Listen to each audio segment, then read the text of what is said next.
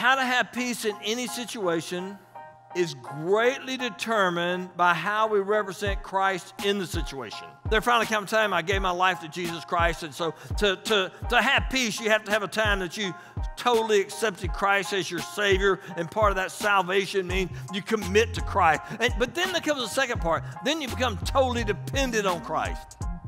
Am I trying to control this situation? Am I dependent upon the financial situation? I'm dependent on the company, or am I dependent on my mate, or am I dependent, or am I totally dependent on you? But I say, number one, when you're saved. Number two, when you're totally dependent on Christ. And then number three, when you have the right representation of Christ, you can have peace that nobody can take with you. Most people know that they're saved from something, but they don't know they're saved for something. They know they're saved from something, they're saved from hell, but they're don't understand what they're saved for something. And the for something is the right representation of Christ.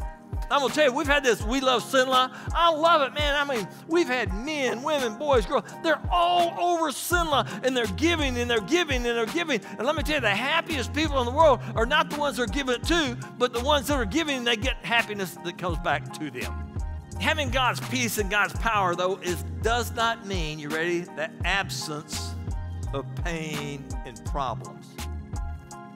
But it does mean you can have peace in the midst of them.